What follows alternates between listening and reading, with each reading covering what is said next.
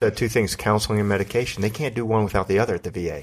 They hmm. want to give you a pill, Yeah. want to give you a pill to fix it, want to make life easy again. But it goes back to, for us, it's that you traded one death for another. Mm-hmm. And that we would love to see an alternative. I mm-hmm. mean, eventually you ask, hey, what, what are the goals? Where, do, where does H and H mm-hmm. want to go?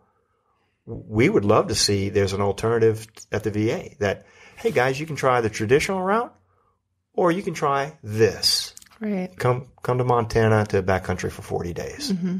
and see what happens. All right, let's do this.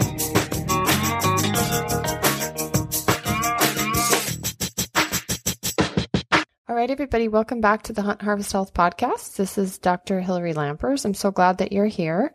It's been a crazy few months for us, and we just a couple days ago, our house closed, and we are officially um, on to our next project.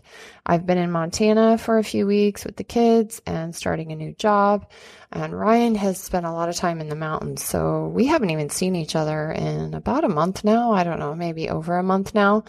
And so this week I am back in Seattle for work for one week. And so I will be seeing him. And I hope that that means that we are going to be able to give, uh, you all some podcasts together. That would be my goal. Um, he has been on some fabulous trips, doing some filming, doing some hunting for himself.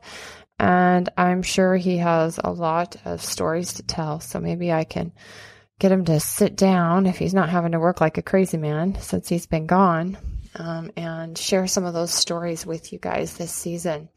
Also, if you haven't already, make sure to follow Project Waypoint on Instagram. That is the project Ryan is working on with a few other buddies uh, uh, around this season. It is one of a kind thing because Ryan has really never videoed his hunting experiences for the last 30 years. So he's going to be doing a lot of sharing this year and giving a lot of wisdom and just, I mean, you're going to kind of see him in action. So I know a lot of you out there have wanted that and he's been kind of, I guess I would say he, He's been um, apprehensive to do that just by his nature and kind of who he is as an introvert. So it's again stepping out of another comfort zone for him, which I think is really great. And it just helps to make him a better person and it continues to grow our community, which we love. Um, speaking of community, today's podcast is um, one of my favorites. I have to say that um, I have a real fondness for people who, especially people who are doing things out there to help others without the expectation of great wealth, um, of money anyways. And, and they're looking to change the world and create a great wealth of serving and again, serving that, their communities in which they're involved with. Um, Rick Franco, who is the chief operating officer of an organization outside of Bozeman in Manhattan, Montana called Heroes and Horses, contacted me through Instagram when I first moved to Bozeman and just said, Hey, so glad you're here. You know, we really love what you're doing. And if you have time, check out our organization and what we're up to. And going to their website, I was just immediately struck by um, the content and actually what they're doing. And it was really funny. I'll tell the story in the podcast here about how I came across the movie that they made last year called 500 Miles and I came across it on YouTube. It was just a random thing, and I watched it. And then when Rick introduced himself, and when I went to that website, I was like, God, this looks so familiar. Where have I seen this before? And sure enough, I had I had been really um, watching this for the last year, and it kind of got set to the side. But we've done some other podcasts where we've talked about um, the issues with veterans in, in today's society, and, and really, I think in in society in general as our our wound, our warriors come back home and they have a very difficult time reintegrating back into society. Many are diagnosed with conditions like PTSD and as you've heard in the media quite a bit, you know, over 20 veterans a day are committing suicide.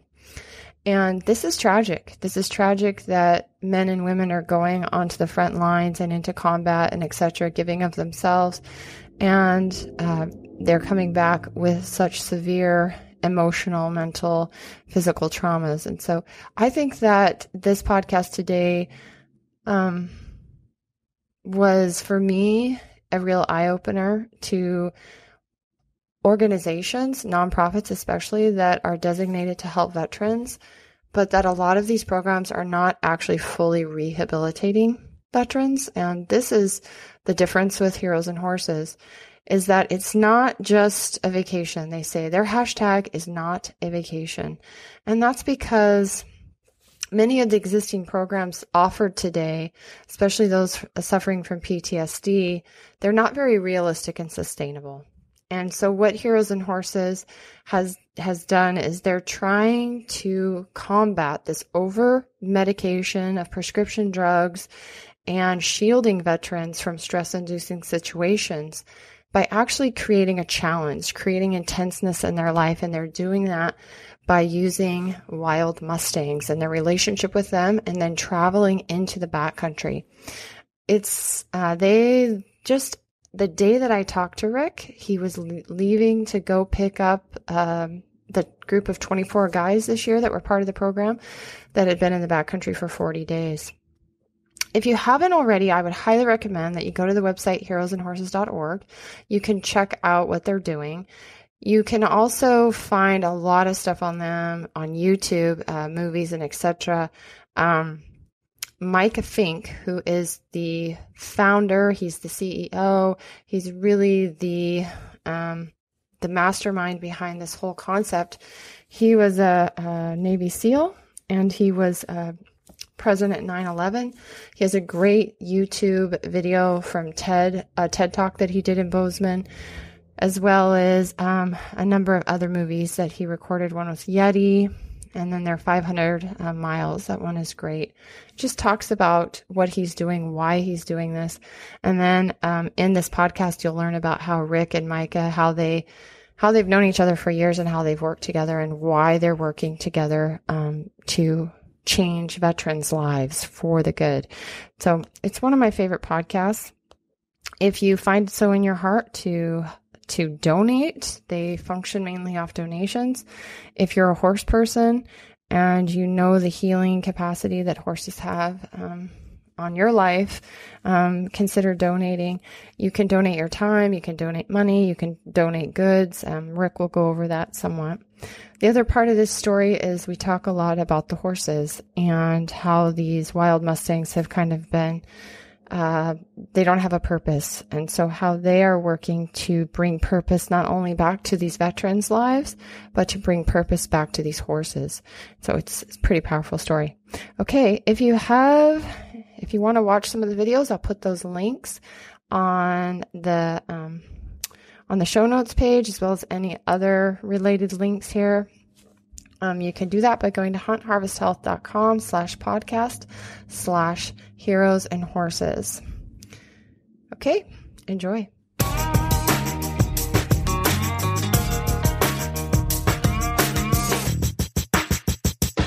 I miss it. We'll bring, no, no we'll keep so so. Tell me that story.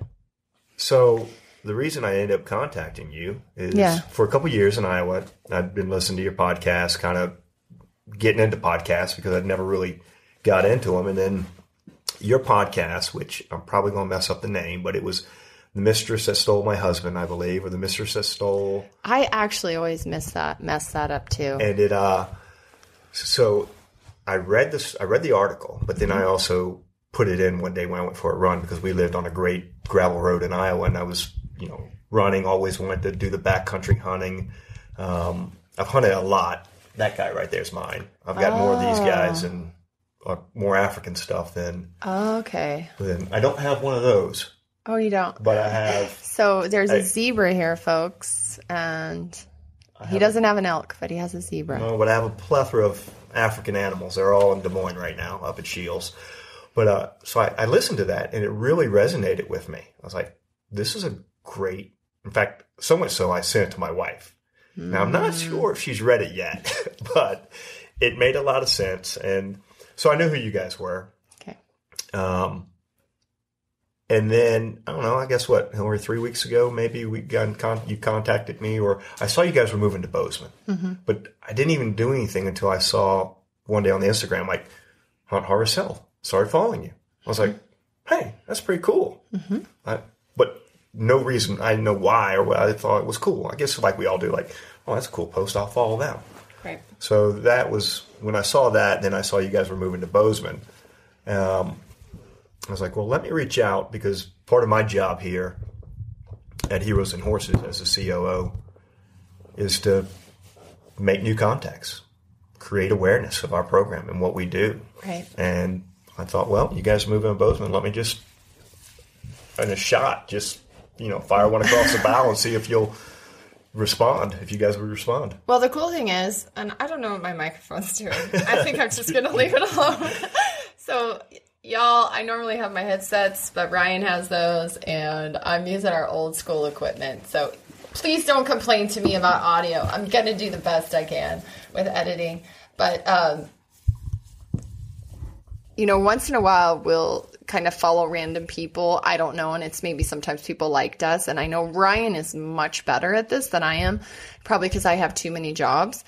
But he'll go through like his his people follow him, or fol- he'll go through and he'll look at those people, and then he'll kind of decide like, is that somebody I want to follow? Sure, I do the same thing. Yeah, and I, I don't think I do that very much. I just kind of go, "Oh, I like that follow, follow, follow," you know. And then sometimes in my feed, it's like, "Why am I following this person? Unfollow," you know. But um, what's interesting is that you reached out to us, to me, through Instagram and said, "Hey, I'd like you to check out." Our thing, and then you know we've got this gala coming up in Bozeman, and welcome to Bozeman. And I was like, "Oh, that's awesome!"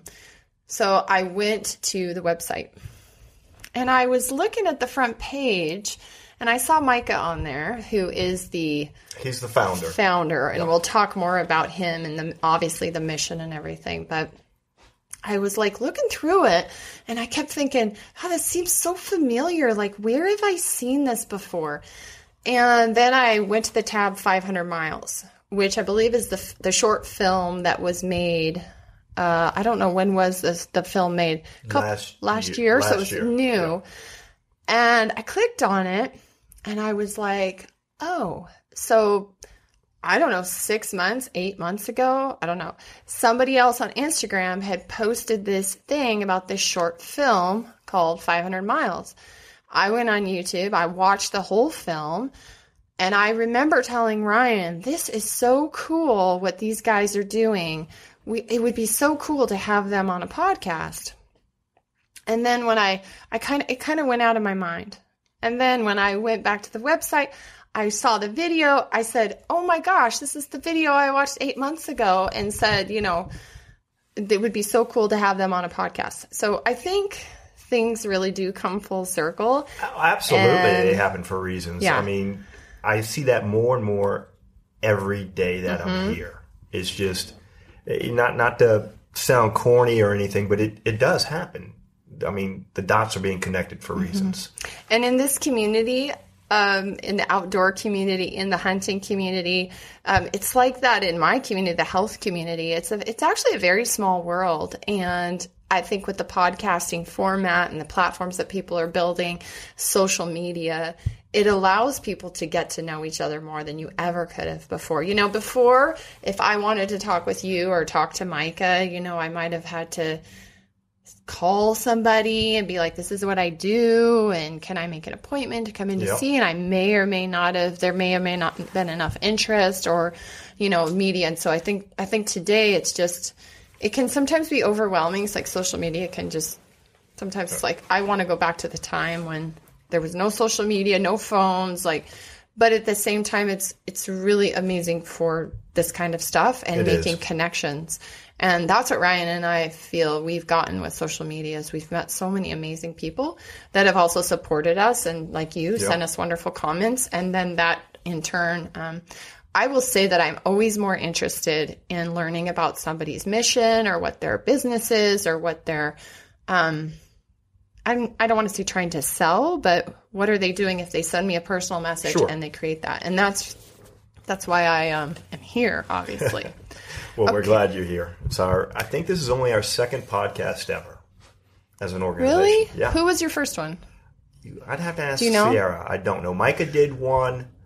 one prior to this, and I don't know who it was with. I'll have to find out. Okay. Uh, I, she told me, but I've got a million things that come in and out of the head every day, so that one didn't stick with me. I find that I find that really uh, fascinating that this is only the second podcast is- you guys is- have done because the story is really profound. The story needs to be out there. It does. it is a Yeah. so I've only been here six months, and uh, I'll tell you a little bit about my background if you want to get into that. Yeah, so let me do just kind Yeah. of a formal introduction. Yeah. We haven't even said where we are. Um, I am currently sitting in the office of Heroes and Horses in Manhattan, Montana. Go figure.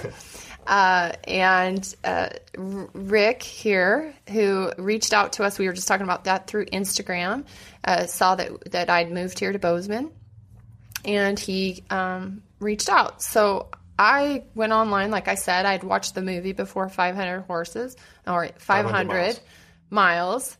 It's about wild Mustangs. It's about the repurposing of wild Mustangs. Right. And using veterans, uh, using this as therapy for veterans. Yep. Um, and the 500 means it's, it was a 500 mile backcountry trip through the mountains of It started in Arizona, Arizona. through New Mexico to get these wild Mustangs that we got out of Oregon off BLM land Mm-hmm. uh, for about thirty-five dollars a piece. Wow. and the 500 miles was their test of the horses to get them ready for a class of veterans coming in. I got you. So they were basically getting the horses ready for this program we're going to talk about. here. Exactly. Well, that's a really uh, profound movie. I, I watched it and I had absolutely no idea what this program was, and I, I was really touched by it. I think also also the film was really well done. Whoever made the film did a really good job. Um, but going on the website and reading more about what your mission is, I was like, oh, I need to talk to these guys. I think that sometimes there's a lot of well, I know because we've worked with other organizations, we've talked to other people who are involved with veterans and veteran affairs and helping to rehabilitate veterans from trauma, PTSD, etc. But um, your mission statement and what you're all about is very different from what anything I've seen before. It is. And- We're the we're the only kind of of I'm not going to call it treatment. We're the only program like this in the nation. There are 45,000 veteran nonprofits across the U.S. That was that's a, st- a statistical number that we looked at. Um, they all do great things, but we're the only one that is 40 days long, and we live to our hashtag, not a vacation. These guys do not get a break, and that's just to start phase one and phase two, and we'll talk about the whole program Yeah. as we go on. And but then there's a whole follow-on phase, a reintegration phase. So in essence, you- you're looking at a nine-week program for these guys. Yeah, let's let me just read a little bit of your mission statement because Yeah. I think it's a really great mission statement and um it it really defines what you guys are trying to do. So, the Heroes and Horses mission, Heroes and Horses is a Montana-based nonprofit organization that has created an innovative three-phase reintegration program which is offered to qualifying combat veterans at no cost to them suffering from PTSD. Our program utilizes the remote wilderness of Montana coupled with human and horse connections to challenge and inspire personal growth in veterans suffering from mental and physical scars. I mean, wow, that kind of says it all right there, right? It does. What we're doing is we're redefining the relationship between challenge and purpose for these guys. You, you boil it down that mission statement right there, plus redefining the challenge and the purpose. And we and we're not making cowboys. We're not making outfitters out of them. It's just it's our medium. We're here in Montana, and it works. The mountains, the horses, the mules, the packing, the backcountry. Because I'm sure Ryan can attest to this. There's stuff out there that will kill you. Yeah, I mean, instantly fall off a cliff, horse roll over the side, bears, you name it. It's Rattlesnakes. out there. Yeah, it's out there. Yeah. Um, so we're just using our process, which is innovative and comprehensive, um, to challenge these guys. And I say guys because right now we are, it's just Men. men, combat combat vets. Um, and we use the wilderness, the horse human connection, because that is a proven scientific connection that happens between a human being and a horse, uh, and then proven leadership. And all that combined into this program changes lives. And I'll read you some things that I just got a testimonial yesterday from one of the program vets from this year, 67 year old Vietnam veteran. He was the oldest guy in our class to come through, and he made it all the way through. And he's coming back to the gala. So you'll, if you're at the gala, you'll meet you'll meet him. Okay. Um, and he, at some point, I'll read this just excerpts from his testimonial, but talk about moving and just defining at, at, at its best. yeah. Okay. You got to get closer to the microphone. Here we go. Because I want to get all this. Yeah, yeah. I don't want to miss any. And like I said, these microphones. Um, so tell us, okay, before we get into the actual program, tell us a little bit about yourself, your background, and then tell us a little bit about Micah, who's the actual founder. of Sure. Heroes and Horses. So that's a good thing we only have an hour and 15 minutes because that's a loaded question. Yeah. All right. So, um, my background is I'm a kid originally from South Louisiana. However, I was fortunate enough to grow up all over the world. My father was in oil. Um, fast forward, decided I was going to go in the military. Always knew it. Grew. I'm a kid of the '80s. I watched Wolverine, wanted to be Rambo, and No Surrender. All those things. You Yeah. know, Me too. U.S. propaganda at its I didn't want to be Rambo, but, but it, but it it worked. Um, yeah. so I enlisted in the Marine Corps in 1993. Okay. I was going to school at the same time. I graduated and then got commissioned in 1995 as a infantry officer in the Marines. I spent the next uh, spent my time doing that till about 2002 when uh, I got out. Of course, 9/11 was just happening, but I was already scheduled to get out. And then I jumped right back in the reserves and did some reserve time with the Marines. But it was during that time that I kind of fell into the world that brought me right here, right now, sitting in this room, and how how I met Micah, how we met. In 2002, I uh, let me back up. 2004, pardon me. I fell into the government contracting world for a one of our organizations in the government. Uh, starts with three letters. I did that for I think I counted yesterday in preparation for this. Almost 15 years consecutively, I've been in a combat zone. I just stopped in 17. I had two, what you'd call two breaks in service. In 2005, I shattered my lower leg and it took a year and a half to walk, so I wasn't doing that. And then I went back, and from 2008 to 2014, I went straight. Uh, I was straight back overseas again took a one year break when I met my wife and decided, okay, I'm going to try and live a normal life and get out. And, um, but that didn't, we went to the Bahamas for a year. So that was a good break. Yeah. That's working the That's Bahamas nice is, yeah, working in the Bahamas is not too bad, but it's not also, it's not all paradise either. Uh, that's a whole separate story. Um, came back to Des Moines, uh, because that's where the family is from and looked for about six months. And then the proverbial bat phone rang and it was the guys from my old unit calling me and saying, "Hey, you want to come back?"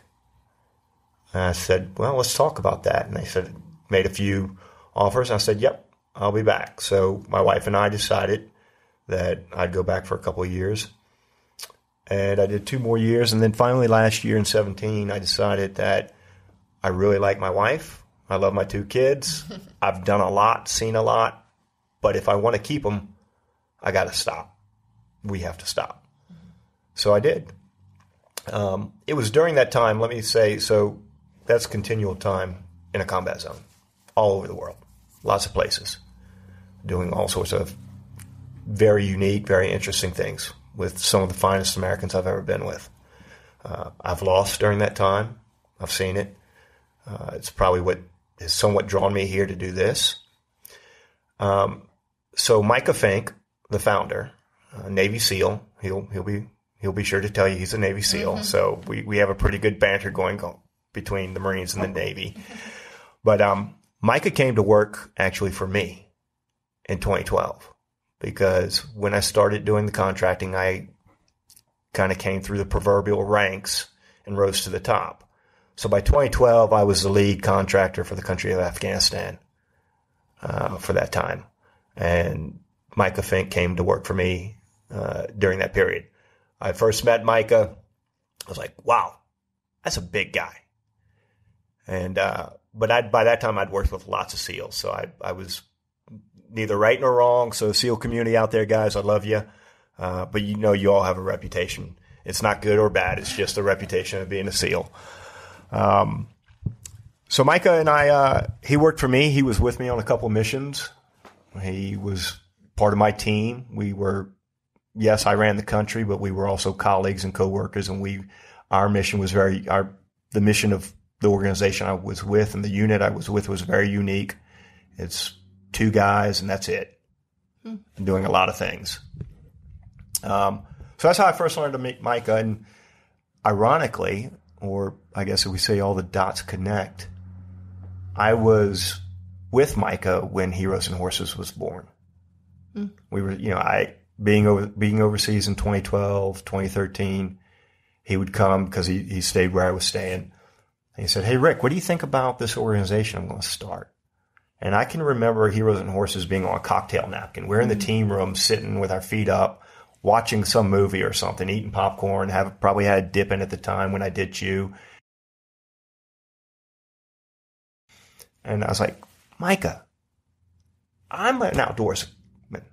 I'm, I rode horses for a little bit, uh, but I'm no cowboy. I said, you, you're from New York. What the hell do you know about riding horses? and so, yeah, I was there the whole time. I saw the logos. This is the logo you see on the wall. That's not the original logo.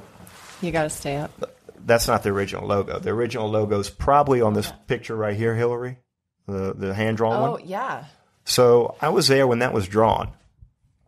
Wow. And it's um, I think it's just really neat how it all comes full circle. So that's how I first met Micah. And then when I left in 2014, um, I believe he left also. I think 2014 may have been his last year there. You can see on the wall the awards. You can Mm-hmm. You can read those organizations, and yeah. he's got one. So do I. Two separate incidents, but we were both uh, awarded different things at the time. Hmm. So that's how I met Micah. Fast forward to 2017, decided to quit contracting. I'm back in Des Moines looking for a job, uh, hitting all my buddies up and who's got what. And I was slated originally to go to Utah um, for to do a private security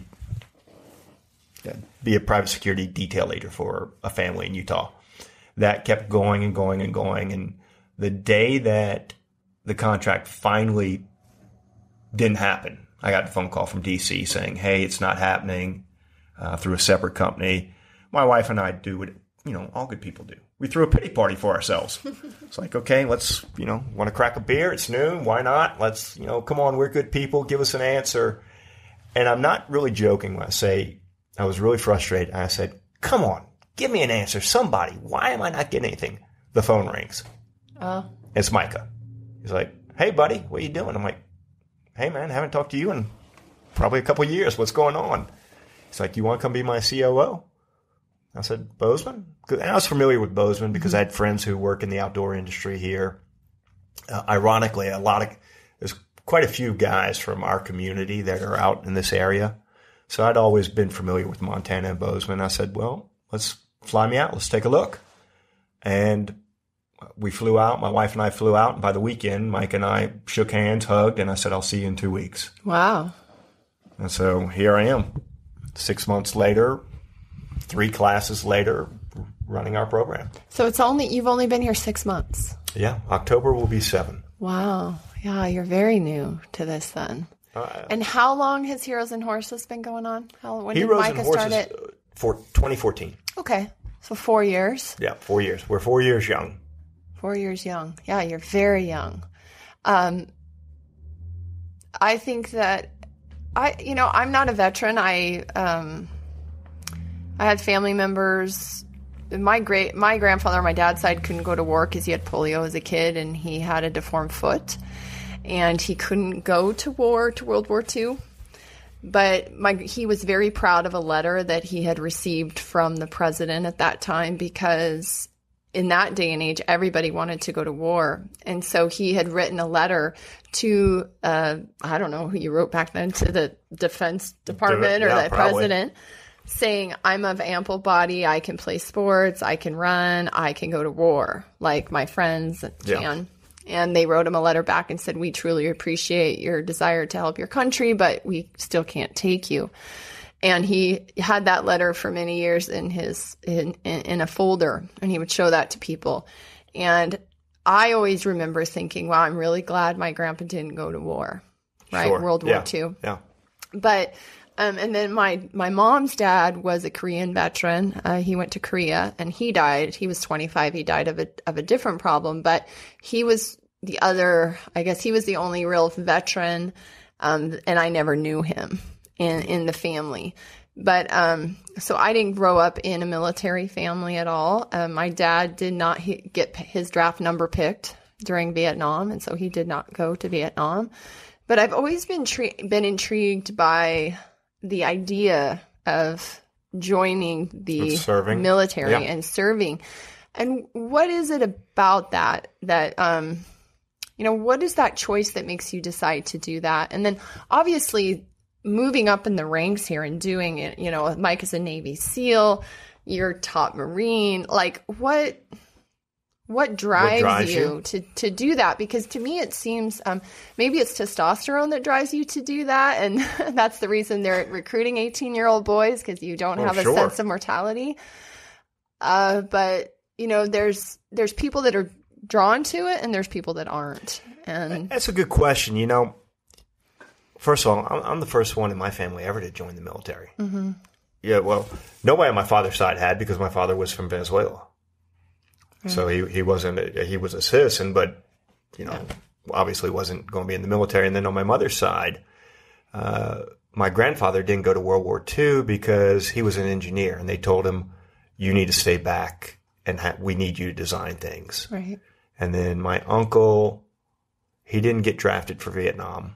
Um, I'm not sure why, but anyway, long story short is I was the only, I'm the only one so far in my family to have gone in the military.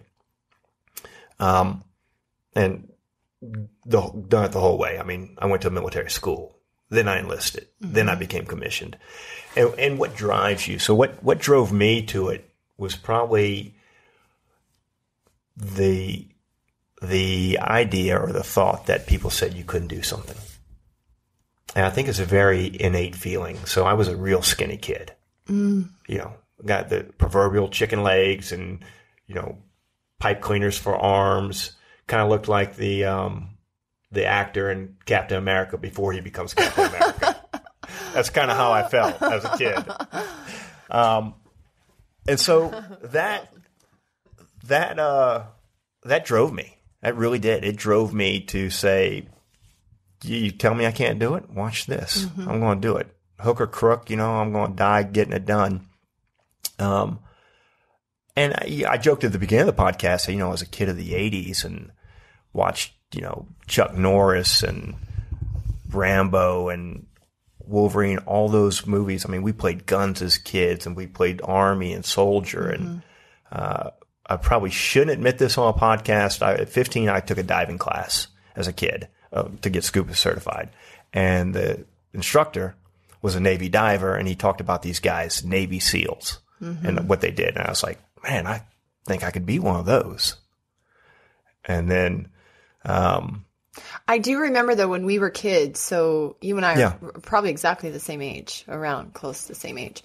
Uh, like I remember when we were little, and I had a brother. I mean, like GI Joe, um, all the cartoons that were on TV were all superheroes. oh yeah, all super- military, guys, yeah. GI Joe. very masculine kind of. Um, yeah, this like- is the this is what it is. Yeah, I I I just remember it kind of like always the thing. It was either the GI Joe soldiers or the trucks. You know, if you were or, or here in Montana, you cowboys. You know, that Yeah. was another thing. Cowboys and Indians. Yeah, we played the same.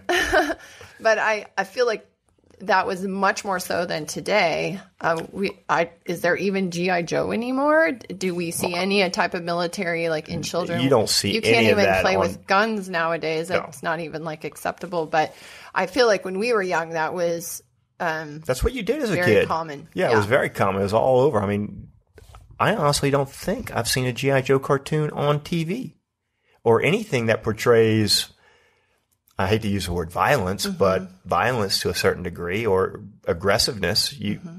you know, I think about what my kids watch on TV, and I don't really see any of that. Yeah, there's a lot of different type of violence nowadays that we see that I think is, you know, not good either. But um, so yeah, continue on with that, like so, so that, drive. That drive. It was just, I, th- having seen a lot of guys come through the service, um, commanded men on my, commanded my own troops, my own men. It's something you see. I, it's it's hard to quantify. It's almost like this program. It's hard to quantify what works, but it's a combination of things. I think it's the same thing for guys in our shoes. So Mike and I probably fall into one percent of one mm-hmm. to climb the ranks.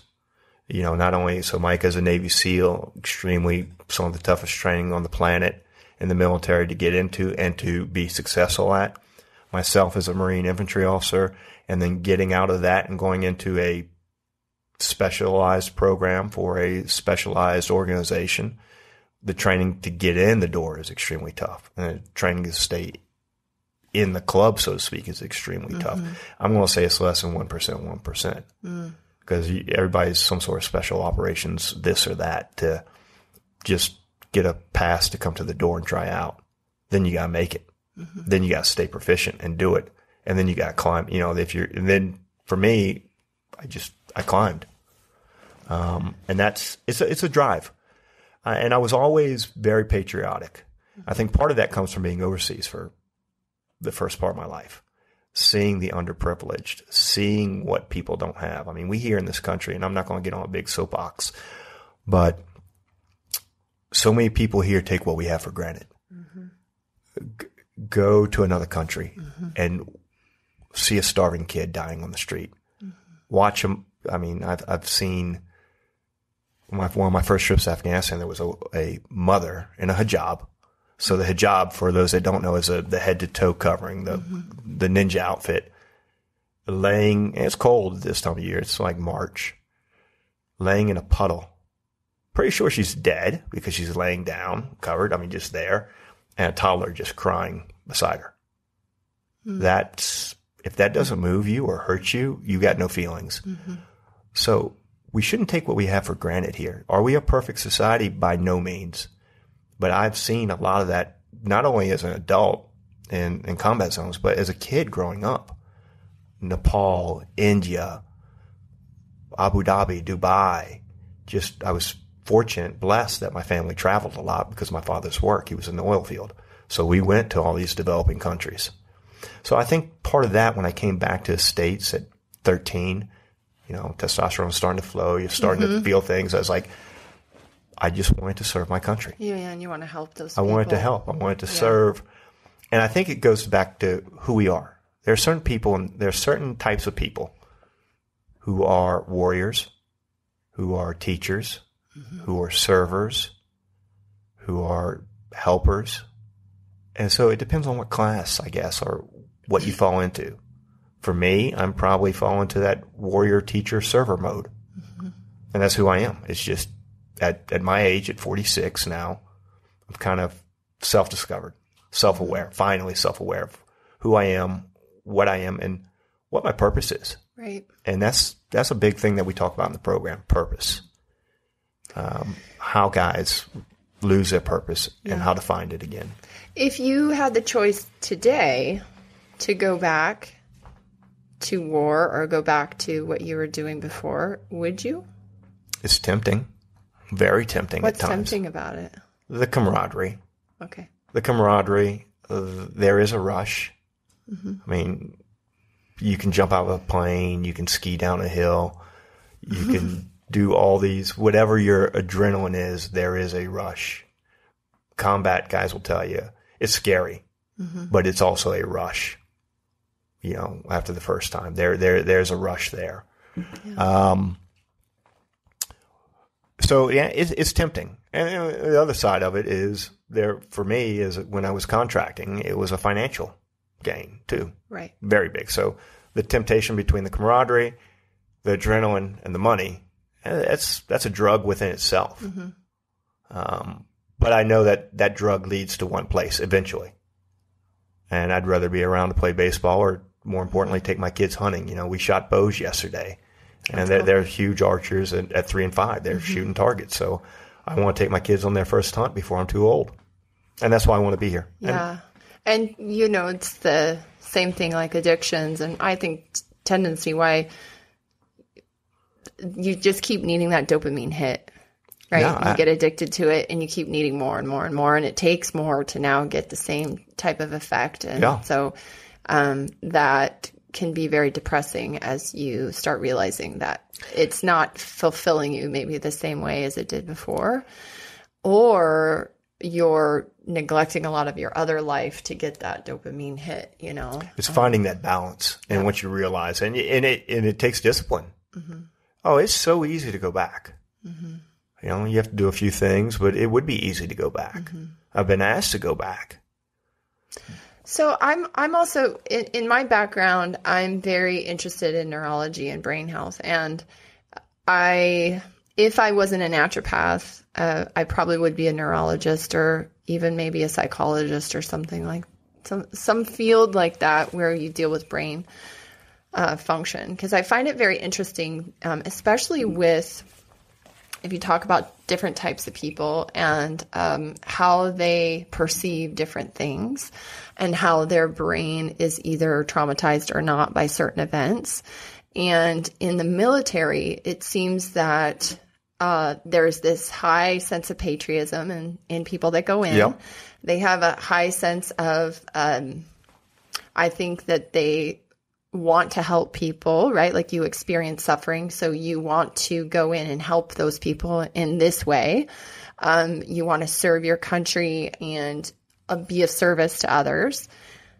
Um, but what is it on the flip side when now you've you've gotten to those places, you've done those things, and you've also experienced some pretty rough traumas that had you just stayed at home, you you wouldn't have experienced in your life. And how do those traumas change your perception of the military or what you've actually done with your life?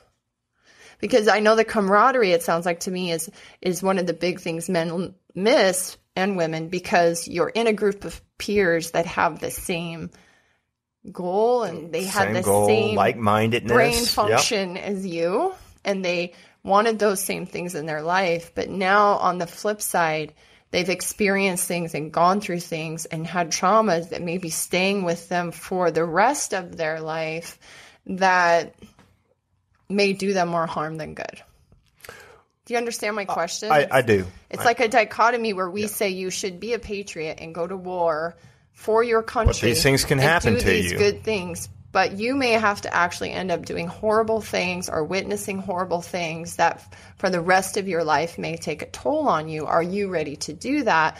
And are you willing to do that? And I think no one understands that. I think when you sign on the dotted line, the proverbial dotted line, and you raise your hand, you really don't know what you're getting into. It, you know, it's, it's kind of like having kids. You think Mm-hmm. Yeah. you know about having kids until you have a kid, right. and then you have to experience it. So it to me, it's it's a great analogy because it's the same thing. They'll tell you everything, but you really don't know until you do it, until you go through it. Just like everyone can tell you, hey, this is what it's going to be like to have a kid and late nights, and your life's not going to be your own. Oh no, it'll never happen to me. I'm not switching my lifestyle at all. Well, kids come, and then you're like, wow, I'm in bed at eight o'clock now, and I'm not doing this or I'm not doing that. Same thing in the military you you know they you you're listening to what they say you raise your hand you're vaguely aware and mind you most of us are probably 18 to 20 when we come in 18 to 25 so we're still pretty naive to the world mm-hmm.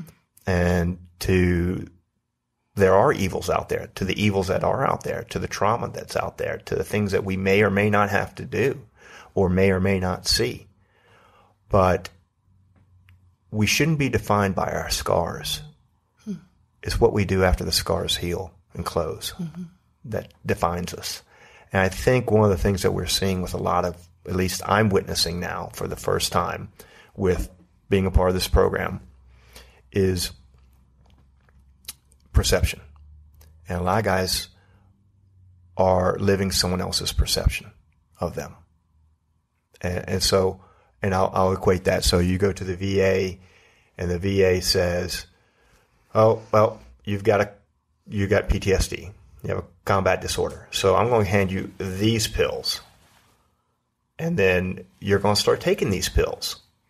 And then you may be pissed off and have an episode and shh, he's a vet. He can get that. He, you know, that's why he can get away with that. So you start believing, these guys start believing what they're being told. You know, it, that, hey, I'm a combat veteran. I got PTSD. Yes, they probably do. But it's how they're choosing to perceive themselves. Mm-hmm. And they start living someone else's perception. When they come here, we try not, we don't try and change anyone. That's not, that's not my purpose. That's not Micah's purpose. Mm-hmm. Our purpose is to expose them to new things. And one of the things that we do, in fact, that we decided to implement this year, Micah wanted to do it when he asked me to come aboard, was teach a leadership class. Because mm-hmm. I've got a little bit of background doing that with the Marines. So um, we instituted a leadership portion every night for the first, uh, every night of class. So the first five nights that they come in, every night we're going over a chapter in a book and we're just exposing them to a new way to think and dealing with their perceptions. Mm-hmm. Because we want everyone who comes through the class, we want this to be there. And I hate calling it a class, but I have no, there's no other name for it. But every all the program vets that come through, I want this to be their last stop. Done. No more doing fishing, hunting, ATV riding, whatever. All those programs are great. I'm not taking away from them. I want, I want people to understand that. But they don't address the problem. Mm-hmm. It's like taking uh, an, it's like putting a band-aid on a cut. You're just taking care of the symptom right then and there. You know, it's not stitching up the wound. So we want this to be the last time, last program these guys come to because some of these guys are professional, veteran seekers, program mm-hmm. seekers. Oh, last week I was fly yeah. fishing here. Next week I'm going to ATV riding.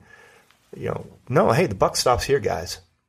You're coming here. This is what we want for you. Whether you get it or not, that's up to you because it is about choice. And you'll hear Micah saying, I'm a firm believer of it. There's only two choices in the world. There's a yes box and then a no box. And it's really that simple. Mm-hmm. Yes, I accept these, this, whatever or no, I don't. And I deal with whatever that may be. But that's very simple. I tell these guys, that's a very simple thing to say.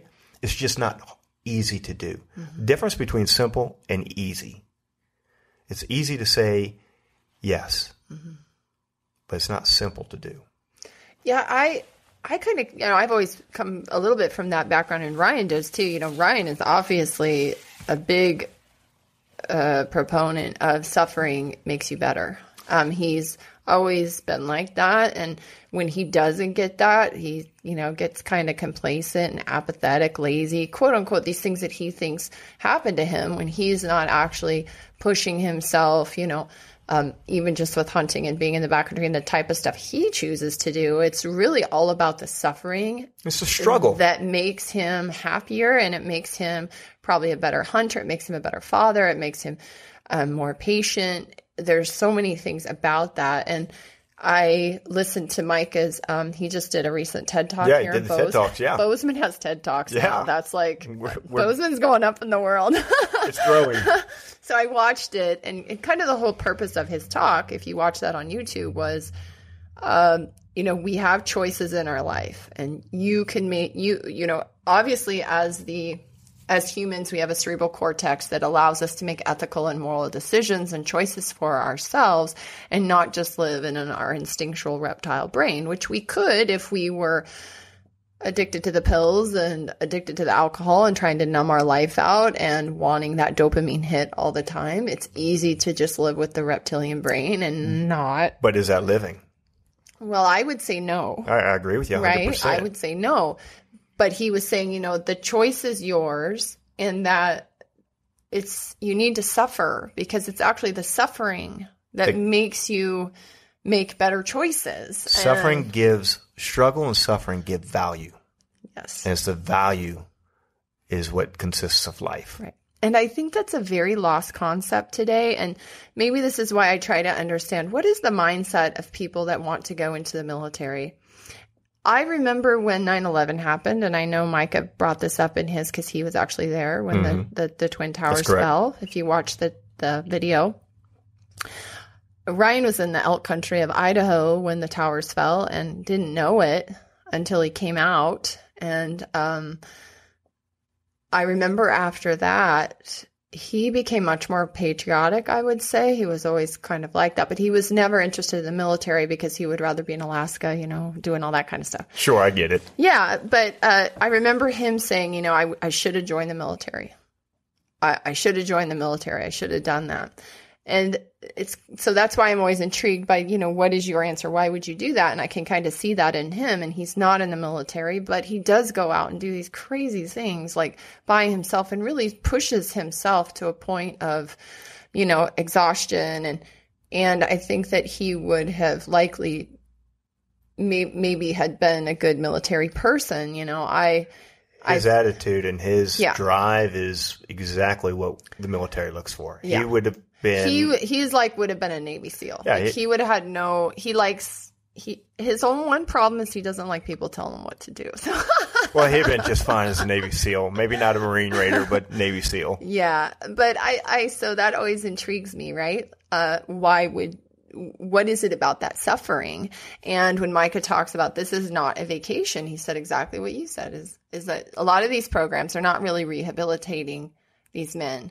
They're just giving them something else to think about. It's a distraction. They're distracting them and they don't have choices. They're not suffering enough. And so this, this program is not a vacation. And I love that. That's the hashtag. So tell me what the program consists of. Okay. So the program consists of three phases. Mm-hmm. The core program is phase one and two, and it's 40 days. And when these guys come, when they arrive here um, on day one, we in process them and the first five days, they're learning, hey, this is a horse. It's got four legs. This is how you pet Morty or Fuzzy or Two Socks or any of the horses we have. Majority of our horses are Mustangs, and we have a quite a, we have maybe a dozen mules now, also as pack animals. So you're also rehabilitating horses yeah. that would have been thrown out. Been or... thrown out. Heroes and Horses is a, is a twofold story, the way mm-hmm. I look at it, and kind of how I've distilled it now. It's the story of the unpurposed human being, the combat vet coming back from war.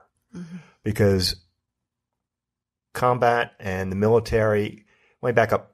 Our government does a really great job of creating warriors.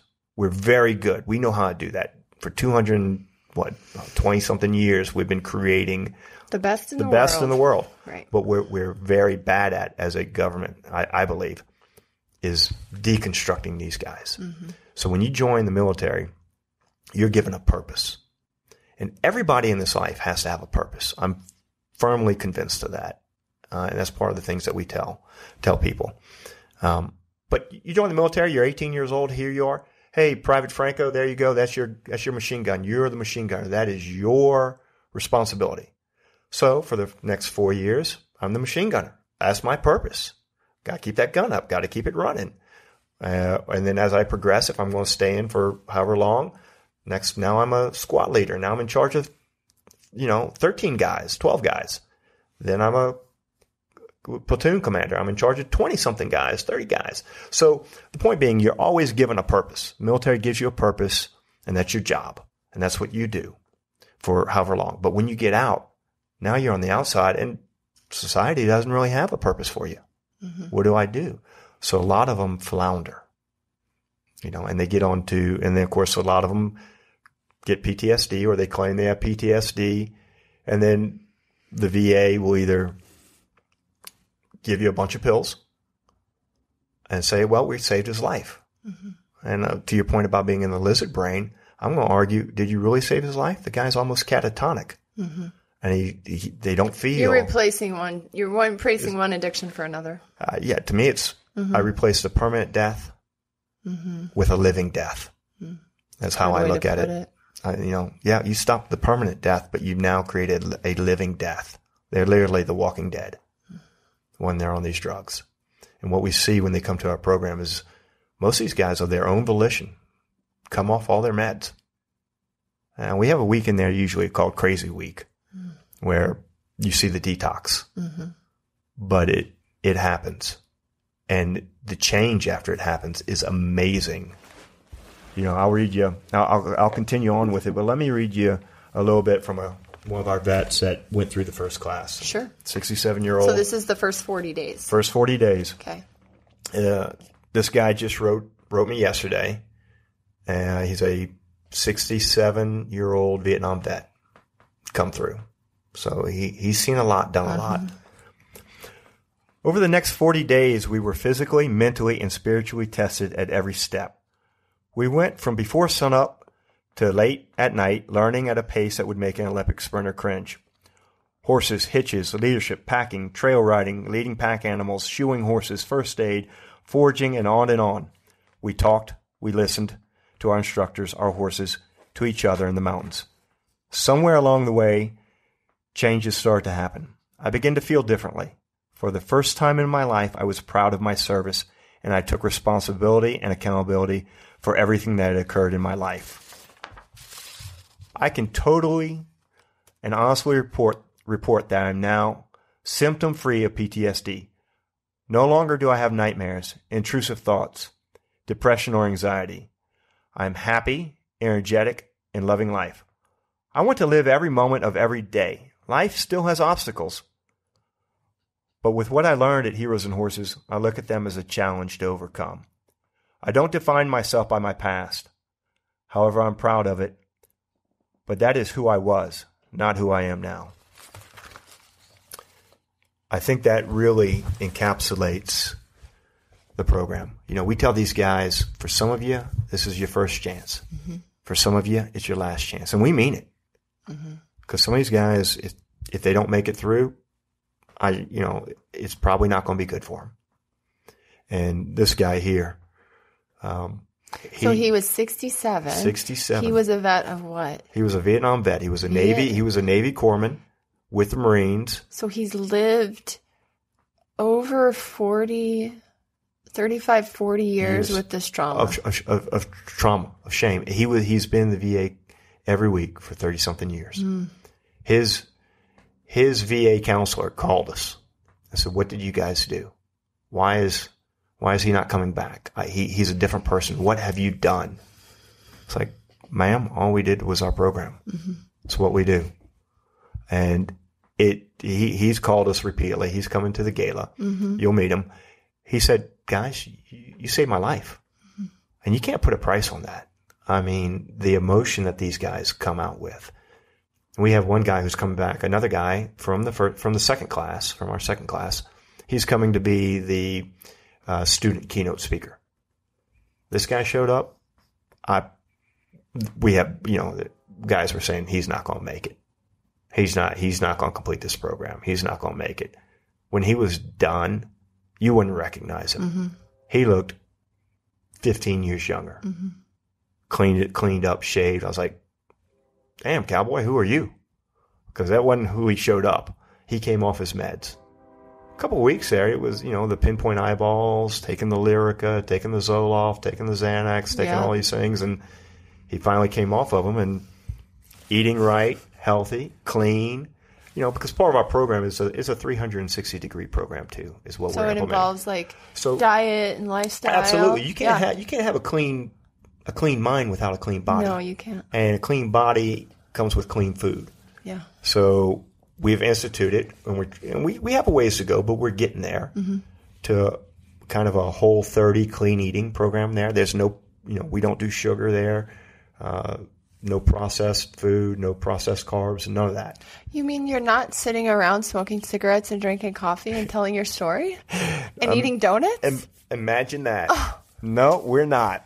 Um, no, it's uh, coffee. Well, there's coffee, but well, okay, I We- we I have coffee. We can't- bang on coffee, but not too much. But you know, their their hardest drink is cold water. okay. So there's there's no drugs or alcohol, and these guys, frankly, are too tired at the end of the night. Mm-hmm. You know, you get your three meals. They're working from sun up to sundown. We do um, we do yoga. We, we, Awesome. we bring in yoga, and these Yeah. guys actually, it's a, about a 50 50 mix. Some are like, this is amazing. Some of them are still pretty old school, like, I don't do yoga. Yet after day two, they're like, hey, Rick, when's Ali coming back? I was like, oh, yeah. So you've you're been on a horse." offering these things here in Manhattan, in town? No, we do it. We do it in You our do program. it in the backcountry. Yeah, we do it in the backcountry. Oh, cool. Yeah, so we have a yoga instructor come two days a week, and then we do a conditioning hike Okay. with the guys to kind of get them used to the elevation. Yeah. So going back, the first five days is all about horses, and by day two they're riding. So mm-hmm. day one and two saddles, day two they're riding, day three and four they're learning to pack, and they're pulling you know their one pack animal with them, and their mule, and doing some trail rides on the property that we're at. After day five, they're the first seven days in the mountains on a backcountry trip. Wow. So they do about 120 miles. They come back. Then we ship them to the front range up by Lincoln mm-hmm. to do what's called Ranch Week, where it's a mm-hmm. change of scenery. They're working cattle on a, on a ranch. They're fi- fixing fences, mending fences, working cattle, roping, moving the cattle. Kind of a little break for them from a change of scenery. They come back to us. Then we get into more advanced equine medicine, backcountry medicine, uh, advanced packing techniques, and they're getting ready for their 10 day trip to the Beartooth. So this is all happening con- happening consecutively in 40 days. Absolutely. No So breaks. They are not getting a break. There's no breaks. Oh, It- wow. it- so then they come back. That's why it's not a vacation. Right. They come back. Uh, they do their 40, they, they then do their 10 days to the Beartooth, which is pretty brutal. yeah. Um, But and, but amazing. The but bear amazing. tooths are and what you find in the Beartooth, what I've seen with these guys over three classes now, I'm actually going this afternoon to pick up the last class, pick up Micah in the last class because he, he's on this last pack trip with them. Um, I've had guys, you know, in the first class, I've had guys that have carried their buddies' ashes from war with them for four or five years. And finally they leave, they leave the dead bodies on the mountain. That's what I tell them. It's like, guys, when you go up the mountain tomorrow and you head out on the mountains, leave the past. Leave the dead bodies up there. It's a good place for them yeah. because if you're carrying the past with you, you're bringing, you're literally bringing death mm-hmm. into your life mm-hmm. and you will have no future. You can't go past it. Yeah. Leave it up there. And, and I don't know what it is, but something happens up there to these guys. They figure it out and they change and you see it in everyone. I've seen it in every single guy, 24 guys this year. So last year was two classes of eight. This year we grew three classes of eight to 24. Wow. And next year we'll probably try and grow. We'll either stay at 24 depending on where we are uh, as an organization because we have a lot of neat and exciting changes coming. Um, but our goal is to grow our program. So that's quite an endeavor, though. You know, 24 guys, that's 24 horses? That no, Or we, how many? so we have 42 horses. Okay. Now we don't we classes one and two we actually ran consecutively. Okay. So we had about 20, probably 25 horses tied up at one time, but then we rotate them. So this last class was all by itself, but one class takes 20 horses. That's a lot. Yeah. That's a lot of work. I mean, one horse is a lot of work. Yeah. Much less 20 horses. That's also a lot horses. of resources. meaning you need trailers for those, right? So, Oh. and you guys are a nonprofit. So th- this is all by donation? All or- by donation. Okay. Wow. We we are exactly that. We're a nonprofit, so everything is by donation. We Mm-hmm. are an amazing organization when it comes to in kind donations. We have a great you know followers that uh, and people that want to support that do a lot of in kind donations. So the vehicles you see out there in the parking lot, those are all donated. Um, This is a from my standpoint as a COO. This is just as challenging as setting up a forward operating base overseas because we don't have a ranch. We're using a ranch right now. We're fortunate enough to be able to use uh, a piece of property down south of Emigrant, uh, going towards the park, where it's what I call base camp. But these guys are in wall tents. So we got four wall tents. We have a yurt with a kitchen. We uh, our shower is a little less than desired, but it's all somewhat by design to take the comforts away. Mm-hmm. Um, I mean, these guys are showering out of an irrigation ditch, believe it or not, hooked up to a hot water heater. Showering. Come on. Who gets showers in the backcountry? But they don't get in the back country. They get we we we You get said- your shower. You get your one shower at base camp. right. Um, and we have a lot of volunteers that help us out. But it's a mm-hmm. lot of moving parts. I mean, we got trailers and trucks to move. We've got horses to move. Everything that's out there, we have to put up. We have to put When up. I think of a horse, I think of a horse. I think of a saddle. I think of a trailer. I think of horseshoes. I think of grooming, taking care of food, like one horse itself. And then one person themselves. That's And just all the equipment that goes with that all person. their equipment. So- Headlights, knives, yeah. sleeping bags, cots. So they don't have to show up with anything, but they have to commit to the program, correct? Exactly. They they can show up in board shorts and flip flops if they want, and we we'll, we'll we outfit them. Mm-hmm. You know, we get them hat, jeans, boots if they don't have it. And what happens if they slack? They lose their spot? No, you don't. I mean, you know what I Yeah. mean? Like people that take advantage or they don't show up for something or they don't. Do you find that that happens or no? No, You find no. that people, they commit. They These commit. are military guys. So once they, they say they're going to do it right. These but- guys commit, and you know what? The thing is that they want to be here.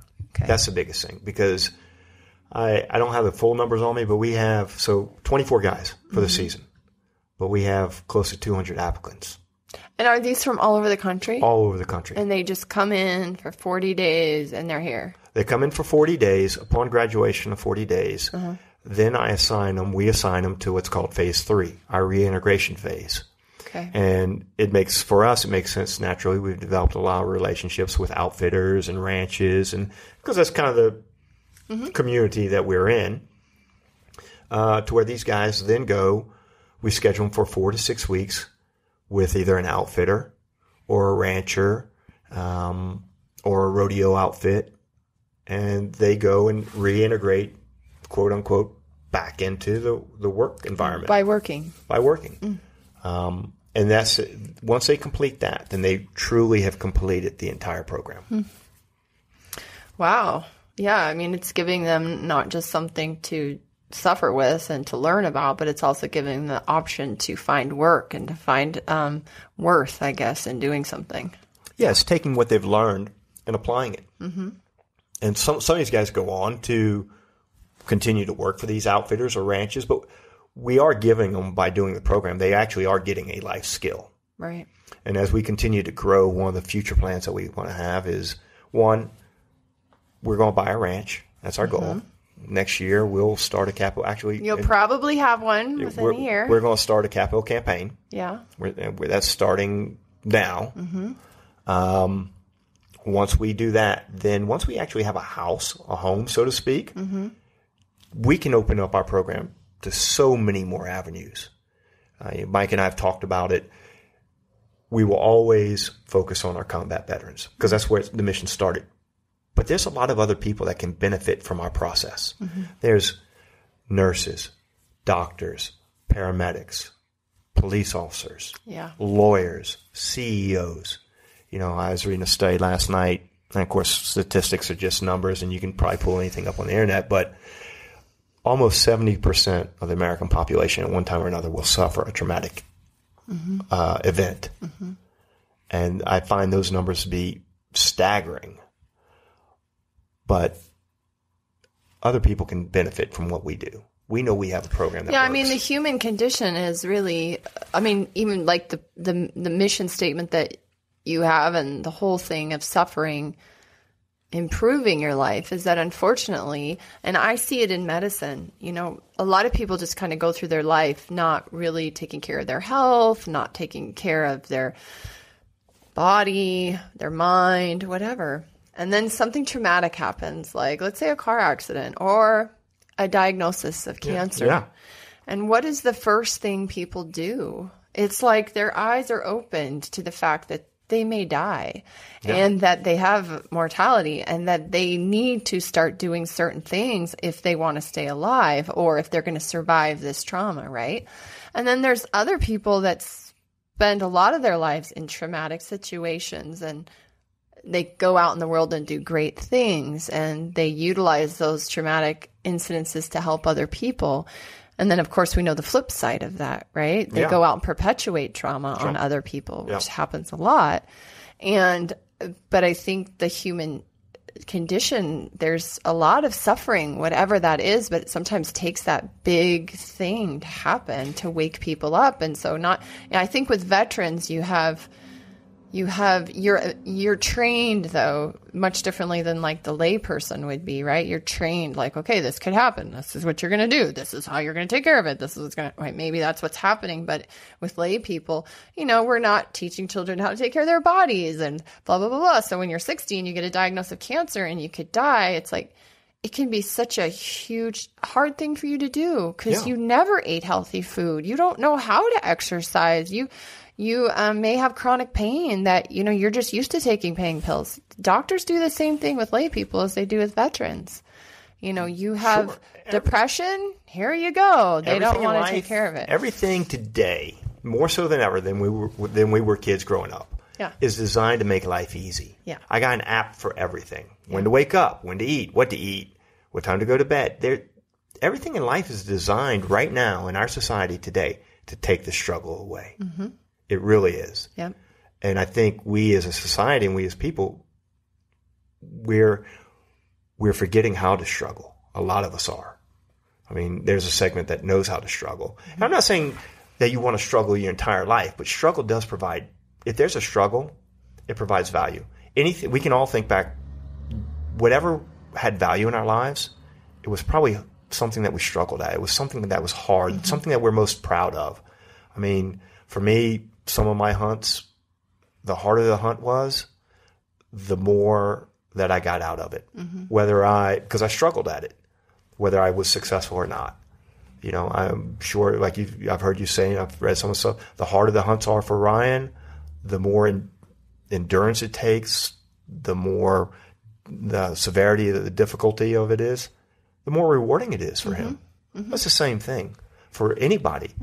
If you had to struggle to get an A in school, are you proud that you got that A? Or if it came really easy, well, no big deal. So I, I think that's the same thing. You know, um, today more than ever, and there's a quote by Viktor Frankl, which I really like. Um, have you read any of his books? Yeah. So it says, Today more people had the means to live, but no meaning to live for. Right. And I think that is a, a true statement. And we find with the guys that come through the program, they're looking for that meaning. Mm-hmm. And we can all search our society, everything that you see, we're all looking on the outside. It's easy to look out there. We're all searching for that answer out there. Mm-hmm. The answer's not out there. The answer's right in here. It's it's within. But that is hard. You know, being healthy. Being healthy is hard. Mm-hmm. You know, it's a choice. It all goes back to choice, which is what we always, Mike and I always say. What's easier? You'll hear him say this, I'm sure, on the next podcast. You'll hear him say, What's easier? Uh, donuts and Lipitor or 4 a.m. in running shoes? What's going to kill you faster? Donuts and Lipitor. Yeah. What's harder? Running shoes at 4 a.m. Yeah. But what's going to keep you healthy? That's going to keep you healthy. I you know I I think definitely people don't have medication self deficiencies. That's that's not a problem. You know, it, it's it's that I do think there is a bit of a lack of will related to the um, easy convenience of life, and it makes you lazy. You know, it's it's just like a muscle. If you don't work it out, it gets atrophied. It, it it's kind of the the brain is the same way. Oh, I, And- absolutely. And I think too, it's interesting, you know, because some of the research shows that people who do suffer from actual PTSD, their amygdalas shrink. And um, the amygdala is the part of the brain within the limbic system, right? That is part of our memory and our emotional state. And that um, the amygdala shrinks in people that have PTSD, which means you don't have that built up muscle, you're atrophied to a place where you can't even like one little thing now sets you off, right? Just, Yeah. Just one little hair or something will set you off because you don't have that impulse control, especially when it's related to anything that's a trigger. And I, it sounds to me like what happens, and probably with any type of um, traumatic event, is that once you create, once you create a space where people have to build that muscle, they have to use their brain in a way they create relationships because the limbic system is very tied into our emotional relationship and our relationship with memory. And it holds the parasympathetic and the sympathetic nervous system, right? So fight or flight and rest Yeah. and digest. And it's, I think that these programs probably help in a way that medication doesn't, is that medication just dampens the symptoms. Um, but it's not creating a, it's not building a muscle anymore as far as it's not creating relationships that demand your brain to have an emotional connection to something. So that could be something as simple as that relationship with your horse. That relationship with your horse helps you have an emotional bond to something and therefore you're needed. And in that need, you build that part of your brain that remembers what it's like to feel needed and wanted, just like when you first went into the military, maybe, right? Yeah, absolutely. It's really interesting you say that because it just made me think of something talking about not we the the effects of PTSD mm-hmm. dampens that muscle. So we actually work that muscle out. We we you can't live in a world where there are no loud noises. You know, veteran safe space, no fireworks here. Yeah. That's not real life. So the example that comes to mind from this year is we were cracking a bullwhip to move a horse, and the guy, one of our guys, kind of freaked out a little bit. Mm-hmm. Loud noise, sharp crack, some bullet noise, whatever. Well, you got to get past that, and the horses don't go past go until they get past that. Neither does a human being. So we're going to crack a bullwhip over and over and over again till it doesn't affect you like it doesn't affect the horse. Because I don't want loud noise to affect the horse when you're up on the up on the uh, a ridge line, and next thing you know, you're tumbling over the side.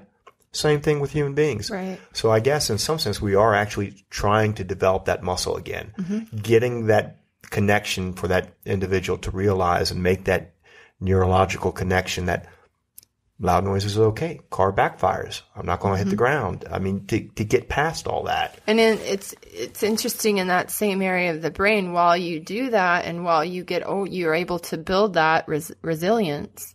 You're also better able to build your relationships and become more compassionate and more understanding and more loving because you kind of revert back to that place where maybe you lost some of that in the traumas, right? As the Sure. brain starts to just compensate for the trauma and, you know, maybe quote unquote disassociate itself because it's got a lot of things it has to do.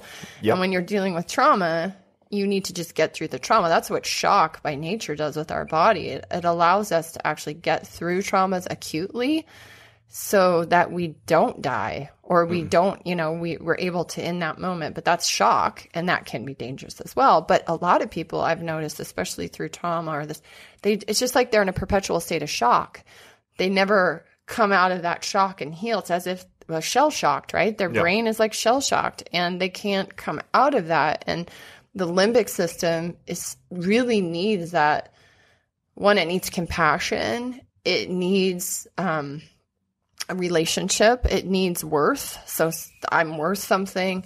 And then it also requires that you are able to balance that, to balance the need for fight or flight and rest and digest. You got to learn how to do that. And even lay people who are having high stress jobs, like the CEO of a company who's, he's like in fight or flight all the time. And That's his sympathetic nervous system is wrecking him and it's not healthy. And so what does he do? You know, he snaps at his kids, he yells at his wife, he has to come home at night and have a whiskey to calm down. Just kind of the same compensation methods. And that's because that that part of the brain. And I think that's what nature does and that's why it's such a key component of healthcare that so many people are missing out on. You know, when you go into the backcountry, not only do you have the relationship with your horse, and you're you're you're bit you have to trust this animal to carry you and do a lot Oh, for yeah. you, right? And and then you have to trust yourself that you can manage this animal. Then you have the relationship with the other guys in the unit.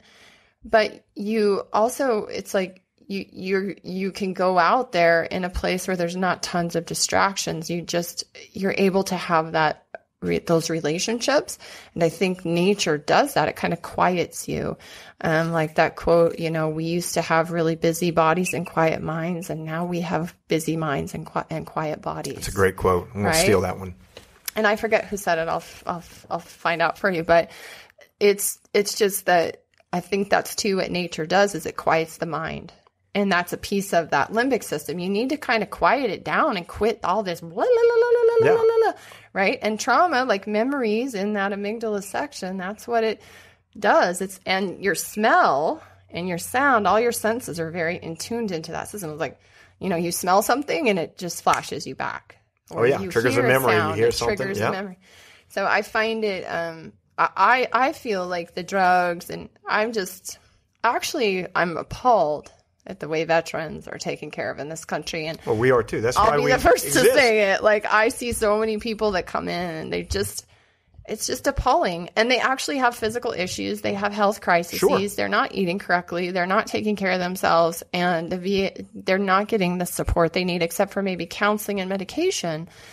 And I think it's really hard to talk somebody out of a problem who's medicated and their brain's not their brain is like fuzzy all the You time. said two things: counseling and medication. They can't do one without the other at the VA.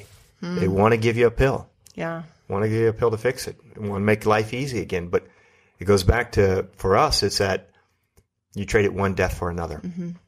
and that we would love to see an alternative. Mm-hmm. I mean, eventually, you ask, hey, what what are the goals? Where do where does H and. H want to go? We would love to see there's an alternative at the VA that, hey guys, you can try the traditional route, or you can try this Right. come come to Montana to backcountry for 40 days and see what happens. At Mm-hmm. And least give them the choice. Do you feel like there's good success in when they go back into their lives, reintegration, that they're holding that, that they're, a lot of people ask that question, Yeah. especially you know with the donors. They want to know is this a quick fix or are they going to you know next week after they graduate are they going to go right back?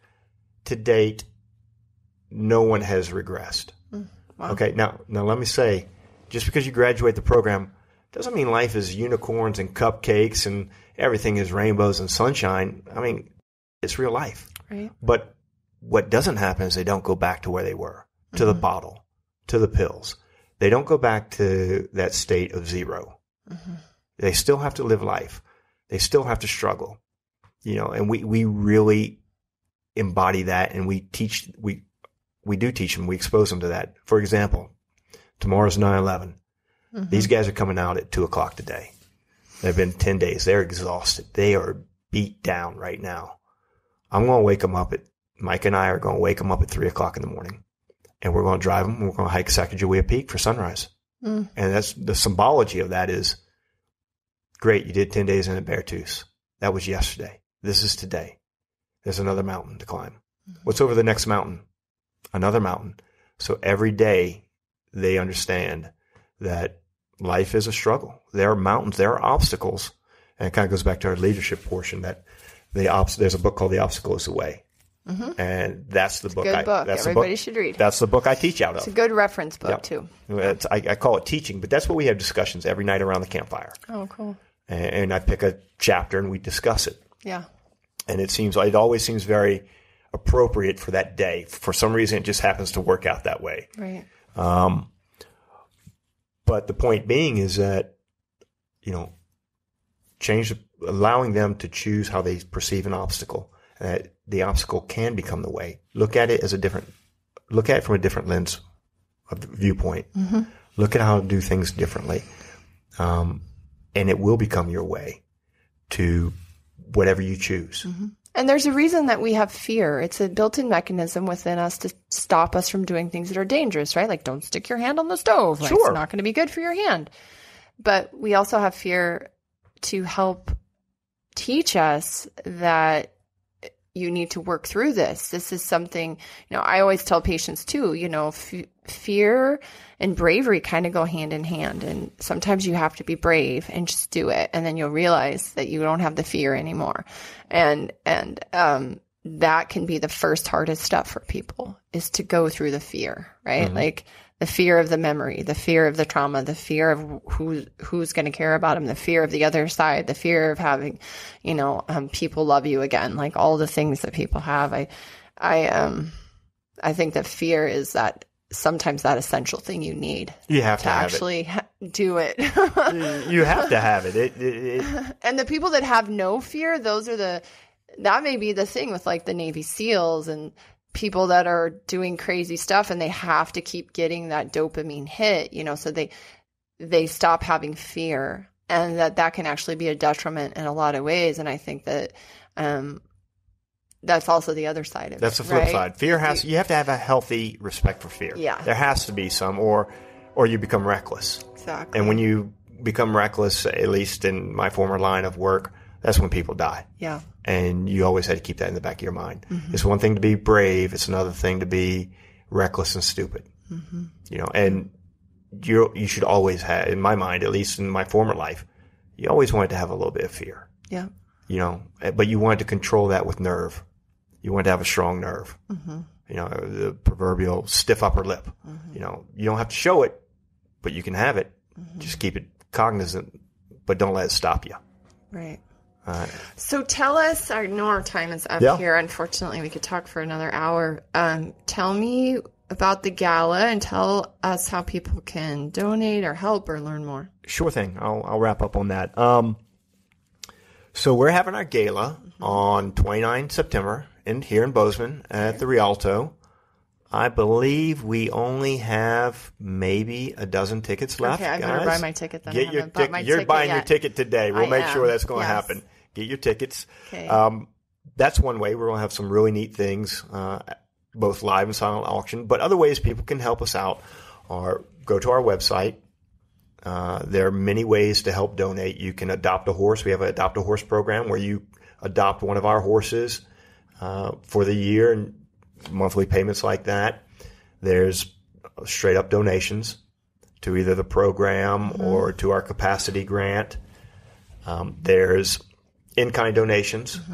We we are in need of vehicles, good ones, and trailers, and anything that would help our program that would make sense. Uh, you know, I don't need. I don't know. I can't. I can't think of anything right now, but I I don't need a bunch of fly rods. They don't work for our program. All right. Darn, I got a lot of those I So- can give you. so I'm just trying to think of something that would make sense for it. Right. Um, and you can donate through time, Mm-hmm. being a volunteer. We, for every single staff member, so there's five of us here, full time staff, it takes about 14 volunteers who are behind us to do camp tear, tear down, camp setup, uh, horse Fridays, help us in the winter, ride our horses because we got to keep them going, Yeah. clean tack. Just reach out to us. Uh, and we, we love volunteers. So that, those are three ways you can donate or people can donate to help us with our mission. And next year we'll be having a capital campaign. So we'll definitely be looking for donations on that for our ranch. okay. Um, and I'd never finished answering the question, but ultimately, Heroes and Horses is just, uh, it's about the unpurposed veteran, and it's also about the unpurposed horse. I don't want to forget our partners, the Mustangs. yeah. I'll touch on that real quick. So there is a huge problem in our country with the wild horses, and the government doesn't know what to do with them. Yeah. So they're in these huge lots across the West. Uh, and those horses don't have a purpose anymore. So we go and we take them. We get new stock. We're going to get new stock this winter.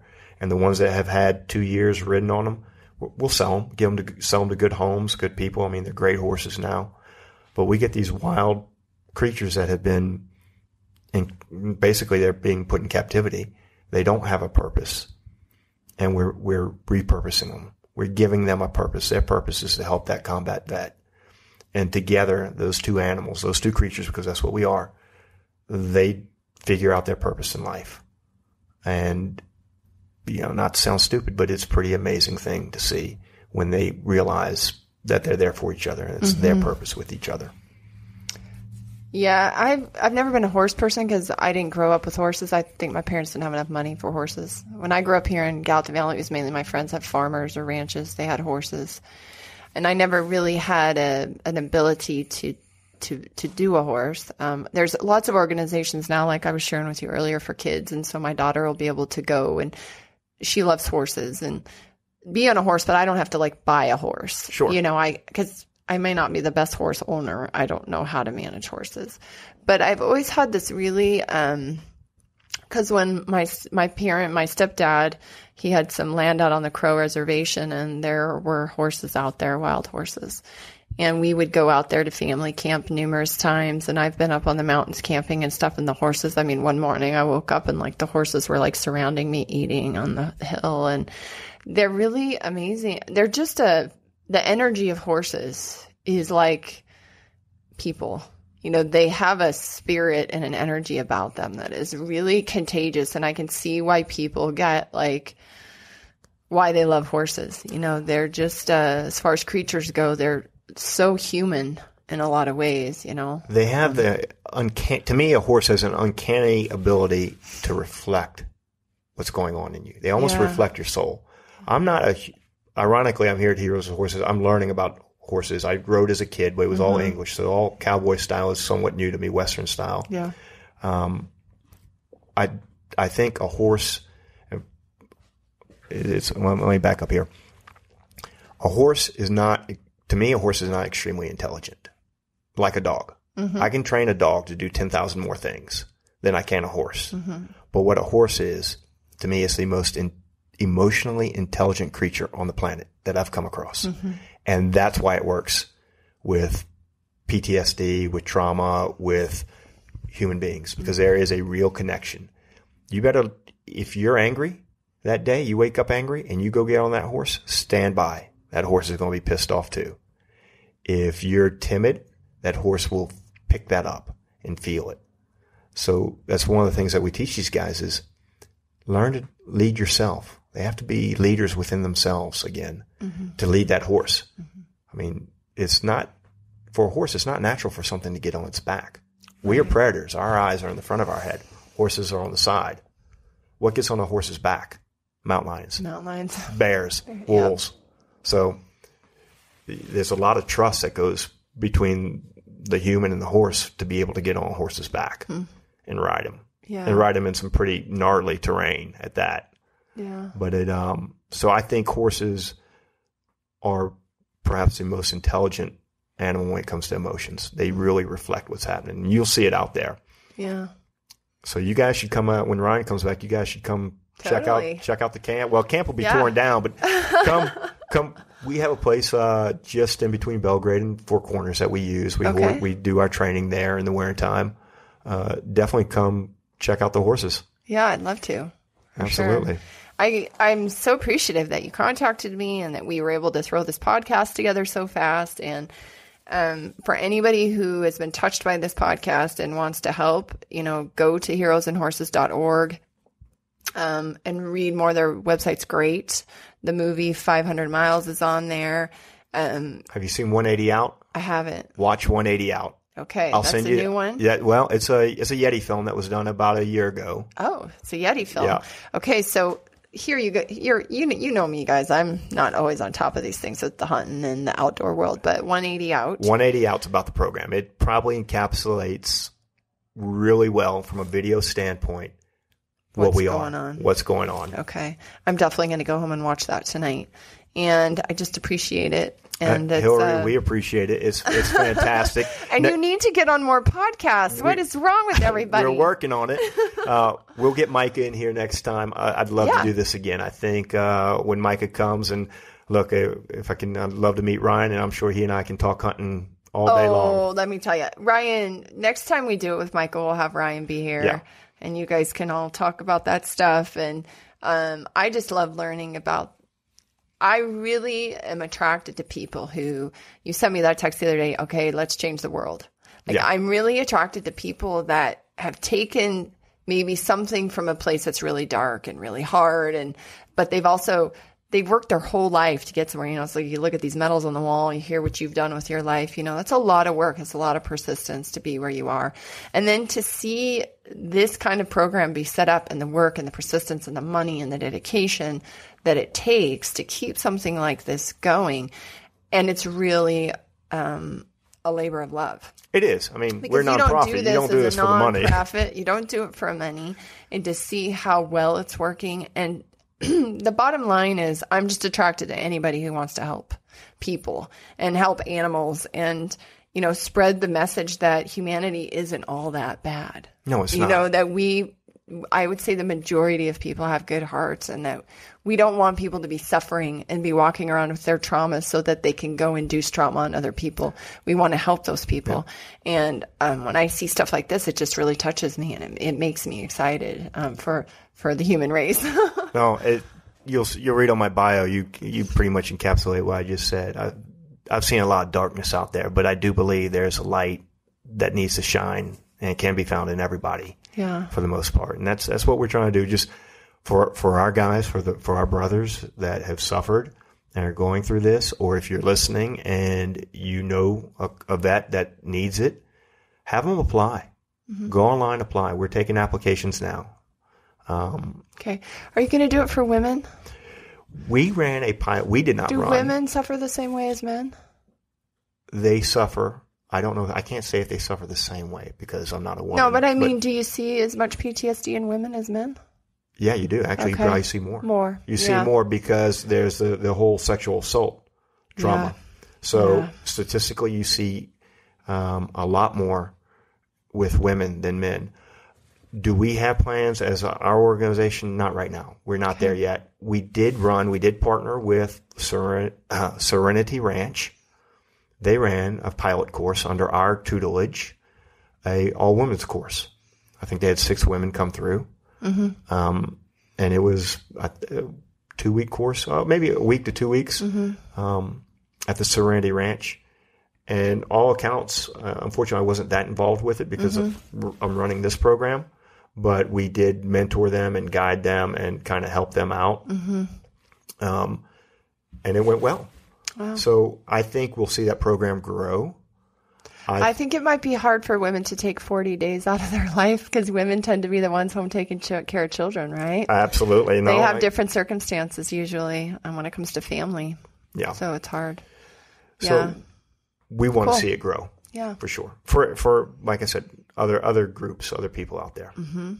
Wow. Well, we'll end on that. This has been great. Um, and yeah, I don't have anything else to say. No, thank you. Until Hillary. next Appreciate time. it. Until next time, guys. Okay. Right. Take care. Yep.